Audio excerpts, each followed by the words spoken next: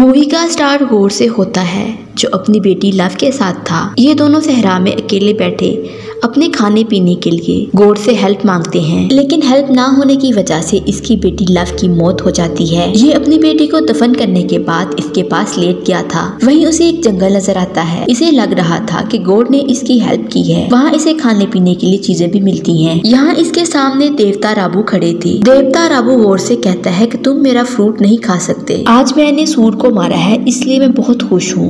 गौर इसे बताता है, मेरी जाति में सिर्फ़ मैं हूँ, जो आपको मानता है। अगर मैं भी मर गया तो कोई आपको पूजने वाला नहीं होगा। और थोड़ी देर पहले मेरी बेटी मारी गई है। देवता राबू इसे कहता है कि कोई बात नहीं, अगर तुम्हारी बेटी मारी गई है। देवताओं को खुश करने के लिए इंसानों की बलि देनी पड़ती है। ये बात सुनकर गोर को गुस्सा आ जाता है। इसने तलवार से देवता राबू को मार दिया था। ये अपने आप से कहने लगता है कि जब हमने देवता से हेल्प मांगी थी तो कोई भी देवता हमारी हेल्प करने के लिए नहीं आया था। और आज के बाद कोई भी देवता मेरे सामने आया, मैं इसे मार दूँगा। सभी देवताएँ अब मेरे दुश्मन है। दूसरी तरफ़ सोर टाइड ऑफ़ गैलेक्सी में शामिल हो गया था। वो हमेशा जेन को याद करता था, जिससे वो प्यार करता है। ट्रो सारी दुनिया से अलग रहता है। अब भी उसे टीम जहाँ भी बुलाती है, वो गाइड ऑफ़ गैलेक्सी का। साथ देने के लिए आ जाता है। एक पीटर इसके पास आकर इससे हेल्प माँगता है। वो युद्ध में आकर अपनी पार और शक्तियों को यूज़ करके इस युद्ध को जीत गया था। दूसरी तरफ़ जेन को दिखाया जाता है, जो काफ़ी साल पहले इससे अलग हो गई थी। ये एक प्रोफेसर है। इसे एक ऐसी बीमारी थी, जिसमें वो बहुत जल्द बनने वाली थी। जेन एक बुक पढ़ती है, उसमें थोर के हथौड़े के बारे में लिखा हुआ था, जो अब टूट चुका था। वही इनको पता चलता है कि कुछ ऐसे प्लेनेट हैं, जो इन्हें हेल्प के लिए बुला रहे हैं, जो गाइड ऑफ़ गैलेक्सी से कह रहे थे कि हमारे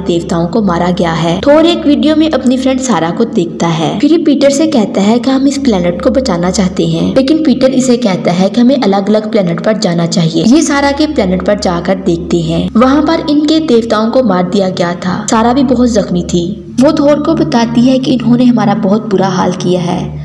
अब इनका अगला टारगेट एस गार्ड है। जबकि एस गार्ड ज़मीन पर था। इस प्लेनेट के लोग अर्थ के लोगों के साथ मिलकर रह रहे थे।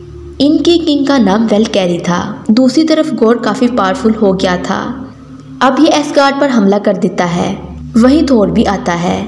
वेल कैरी और सारे मिलकर इन सब का मुकाबला करते हैं। इधर जेन भी आ गई थी, जो अब बिल्कुल ठीक हो गई थी, क्योंकि इसने इस बुक में पढ़ा था, जो भी हथौड़े को पकड़ेगा, इसकी सारी बीमारियाँ ठीक हो जाएँगी। जेन जब एस गार्ड जाकर इस टूटे हुए हथौड़े के पास गई तो इसके अंदर एक हलचल होने लगी। वही हथौड़ा अपने आप जुड़ गया था। अब जेन माटी थोन बन जाती है। ये सब मिलकर गोर की आर्मी से लड़ती है। गोर मॉन्स्टर की मदद से गार्ड के बच्चों को उठाकर अपने साथ ले जाता है। इधर एस गार्ड के लोग अपने बच्चों के लिए काफ़ी परेशान थे, लेकिन थोर इनसे कहता है मैं आप सबके बच्चों को कैसे भी करके वापस लाऊँगा। वेल कैरी थोर को बताती है गोर के पास एक ऐसी तलवार है, जो बहुत पावरफुल है। वो ऐसी तलवार है जो देवताओं को मार सकती है, और ये तलवार मॉन्स्टर को पैदा भी कर सकता है। और इस तरह ये तलवार काफ़ी खतरनाक है। इस तलवार को जो भी इंसान यूज़ करता है, वो इंसान अपनी अच्छाई को भूल जाता है, जैसे गोर अपनी अच्छाई को भूल गया है। वही इनके सामने एक बच्चे का इमेज आता है, जिसके अंदर काफ़ी शक्तियाँ थी। थोर इससे पूछता है कि तुम लोग इस टाइम कहाँ पर हो? थोर भी इसके पीछे आ जाता है। ये बच्चे थोर से कहते हैं कि हमें यहाँ से ले जाओ। थोर इन बच्चों से कहता है कि मैं यहाँ पर नहीं हूँ, बल्कि मेरा दिमाग यहाँ पर है। वो इस जगह को बड़े गौर से देखता है। ये आकर अपने साथियों को बताता है कि गौर ने बच्चों को अंधेरी दुनिया में रखा हुआ है, जहाँ इसकी शक्तियाँ बहुत ज़्यादा होंगी। हमें एक टीम की ज़रूरत है, ताकि हम गौर को हरा कर बच्चों को वापस ला सके। ये चारों अपनी टीम को बड़ा करने के लिए देवताओं की दुनिया में जाते हैं, जहाँ पर देवताओं के देवता जोश आते हैं, जिसे थोर बताता है की बहुत सारे देवताओं को मारा गया है, और हमें कैसे भी करके गौर को खत्म करना होगा। लेकिन जोश मना कर देता है। गौर चाहता था कि जोश के पास जो हथियार है, वो कैसे भी करके इससे लेना होगा। इसे थंडर ऑफ़ बोल्ट कहा जाता है। अब ये थंडर ऑफ़ बोल्ट को हासिल करने के लिए देवताओं से लड़ना शुरू कर देते हैं। जोश को इस बात पर गुस्सा आता है। वो अपने वेपन से थोर की बॉडी को तोड़ना शुरू करता है। लेकिन थोर भी खुद एक देवता था। लेकिन वो इसके वेपन थंडर ऑफ़ बोल्ट को पकड़ लेता है। ये थंडर ऑफ़ बोल्ट को लेकर यहाँ से निकल गए थे और उस प्लेनेट पर पहुँच जाते हैं जहाँ पर गोर था। ये पूरी तरह अंधेरे में गुम होता है। वहाँ इन्हें एक पेंटिंग नज़र आती है, जो थंडर ऑफ़ बोर्ड से खुलती थी। फिर इन लोगों को गोर का प्लान समझ में आता है। वहीं इनके सामने गोर आ जाता है।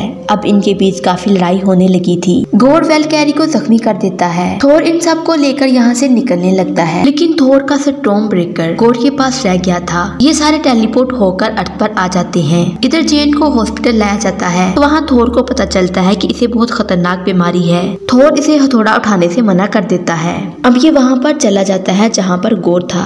इन दोनों के बीच काफ़ी लड़ाई होती है। वही गोर स्ट्रॉन्ग ब्रेकर से डंडी के डोर को खोल रहा था। अगर एक बार ये डोर ओपन हो जाता तो गोर जो चाहे वो मांग सकता है। लेकिन थोर ऐसा नहीं चाहता था। इधर थोर यहाँ सभी बच्चों को अपनी शक्तियाँ देता है। फिर ये सारे मिलकर डीमन पर हमला करते हैं। थोर गोर से लड़ रहा था। वही जेन आ जाती है, जो अब माटी थोर थी। वो हथौड़े के एक ही वार से गोर की तलवार को तोड़ देती है। इधर गोर डोर से बाहर आकर प्रे करता है कि सभी देवता मारे जाएँ। लेकिन इतनी देर में यहाँ पर थोर आ गया था। थोर इससे कहता है कि तुम चाहे सभी देवताओं को मार दो, तुम्हें सुकून नहीं मिलेगा। सुकून सिर्फ़ प्यार में है और मैं मरने वाला हूँ, मरने से पहले। मैं अपने लव के साथ टाइम गुजारना चाहता हूँ। इधर लव का वर्ड सुनकर गोर को अपनी बेटी याद आ गई थी। ये मेन देवता से कहता है कि मैं किसी देवता को नहीं मानना चाहता। बस मेरी बेटी वापस दे दो। नेक्स्ट दिखाया जाता है, गोर अपनी बेटी की गोद में। सर रखकर इसके पास था, जबकि दूसरी तरफ़ जेन थोर की गोद में थी। ये थोर की गोद में मर जाती है, यहाँ गोर भी मरने ही वाला था।